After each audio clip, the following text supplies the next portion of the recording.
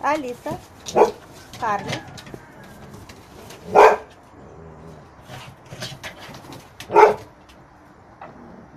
Так, это что такое за рыки?